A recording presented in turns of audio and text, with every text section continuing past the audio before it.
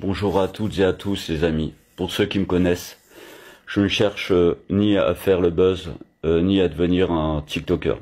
J'en ai pas l'intention ni le talent. Je vais faire très attention à mes mots. Mes informations sont fiables.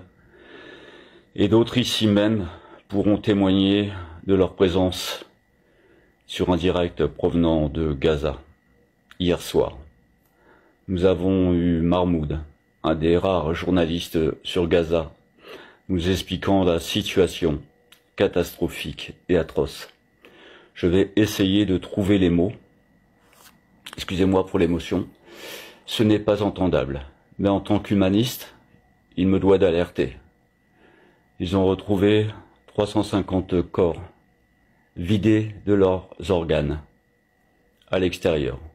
Foie, reins, les yeux pour récupérer la cornée en vue de futures greffes. Mais pas que.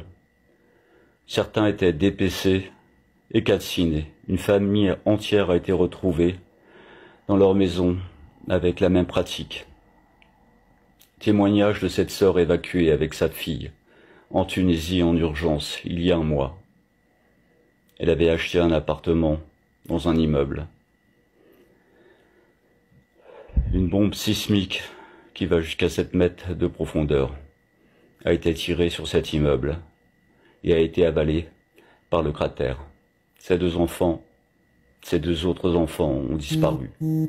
Beaucoup d'enfants font l'objet de nombreuses infections, de l'estomac et de maladies de peau, la gale, etc., en buvant l'eau de mer. Aucun convoi humanitaire ne passe. Il nous rapporte aussi que l'Égypte est en dessous de tout.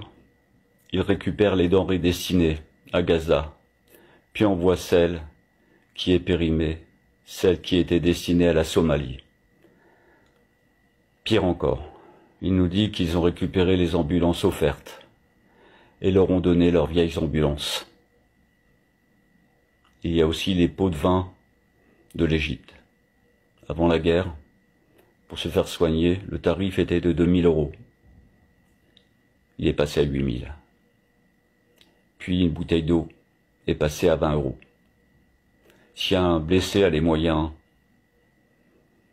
pour se faire soigner, les gardiens à la frontière appellent le Mossad pour savoir s'il n'est pas fiché comme résistant. Ce journaliste nous dit aussi qu'ils ne peuvent plus être côte à côte que les drones explosés envoient des lames coupantes.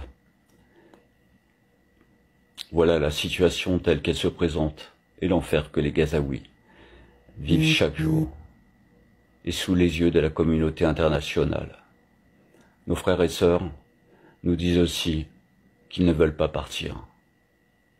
Leur destin est entre les mains de Dieu. Salutations.